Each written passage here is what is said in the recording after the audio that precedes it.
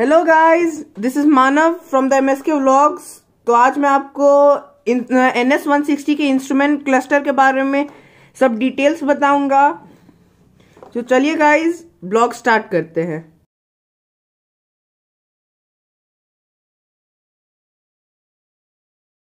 तो गाइस चलिए ignition on करते हैं।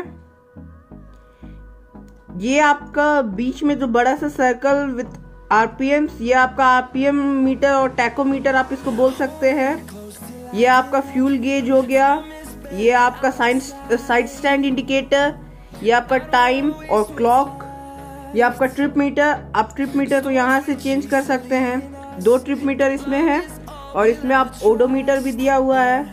तो चलेगा इस साइड आते हैं। ये आपका लो ऑयल प्रेशर का, ये आपका हाई बीम लो बीम ये आपका बैटरी इंडिकेटर ये आपका इंडिकेटर के लिए और ये आपका न्यूट्रल इंडिकेटर हुआ। तो चलिएगा इस साइड आते हैं। इस साइड आपका हाई बीम लो बीम हुआ इंडिकेटर हुआ हॉट हुआ। इस साइड गाइस आपका किल स्विच हुआ और पावर स्टार्ट हुआ। थैंक यू गाइस ये छोटी सी इंफॉर्मेशन थी जो मैंने आपके साथ शेयर की है। प्लीज़ मेरे चैनल को सब्सक्राइब एंड लाइक कर दीजिए।